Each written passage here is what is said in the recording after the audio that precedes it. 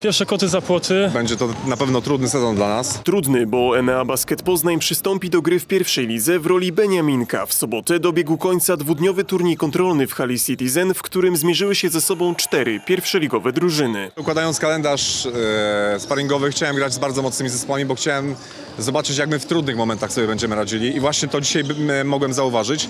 Stąd przyjechał Górnik Wałbrzych, który ma cel postawiony awans do Ekstraklasy.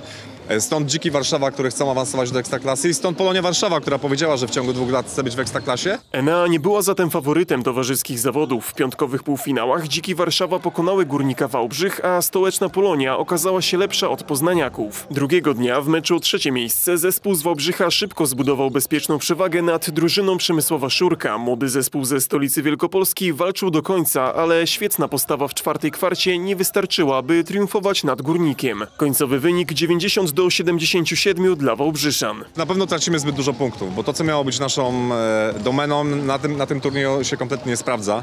Więc musimy się zastanowić, z czego to wynika. Czy może jesteśmy zbyt zmęczeni jeszcze na tym etapie przygotowań, bo tak to momentami wygląda. E, czy może coś nie funkcjonuje i trzeba będzie zmienić. Z całą pewnością sztab nie może narzekać na funkcjonowanie Wojciecha Frasia, który w sobotę zdobył aż 28 punktów, trafiając 10 z 16 rzutów z gry. Świeżo pozyskany zawodnik dołożył do tego 9 zbiórek. Turniej dla nas bardzo dobry pod kątem szkoleniowym.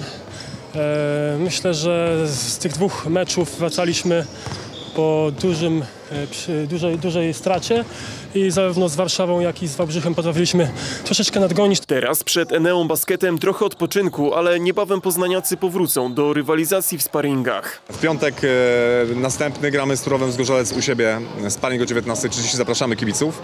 Następnego dnia jedziemy na rewanż do e, Zgorzelca, także to są takie dwa najbliższe mecze. Na pewno jeszcze troszeczkę potrzebujemy i świeżości i zgrania, ale myślę, że każdy tydzień będziemy dawał coraz więcej i liczę, że nawiążemy walkę w lidze. Ta wystartuje już 24 września. W pierwszej kolejce Enea powalczy na wyjeździe z Dzikami Warszawa, które w sobotnim finale wygrały w derbach z Polonią 83 do 67.